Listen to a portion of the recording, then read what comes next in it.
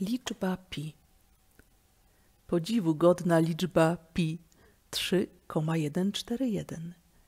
Wszystkie jej dalsze cyfry też są początkowe 592, ponieważ nigdy się nie kończy. Nie pozwala się objąć 6535 spojrzeniem, 89 obliczeniem, 79 wyobraźnią, a nawet 3238 żartem, czyli porównaniem.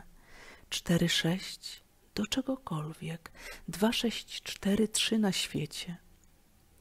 Najdłuższy ziemski wąż po kilkunastu metrach się urywa. Podobnie, choć trochę później, czynią węże bajeczne. Korowód cyfr składających się na liczbę pi nie zatrzymuje się na brzegu kartki.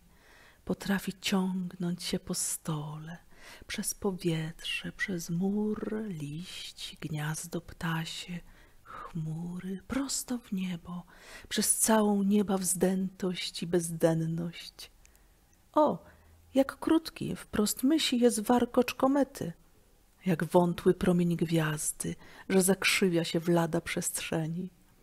A tu dwa trzy piętnaście, trzysta dziewiętnaście, mój numer telefonu, twój numer koszuli.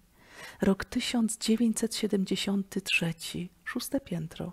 Ilość mieszkańców 65 groszy. Obwód w biodrach, dwa palce, szarada i szyfr, w którym słowiczku mój aleć, a piej, oraz uprasza się zachować spokój, a także ziemia i niebo przeminą, ale nie liczba pi. Co to to nie? Ona wciąż swoje niezłe jeszcze pięć, nie byle jakie osiem, nie ostatnie siedem, przynaglając, ach przynaglając gnuśną wieczność do trwania.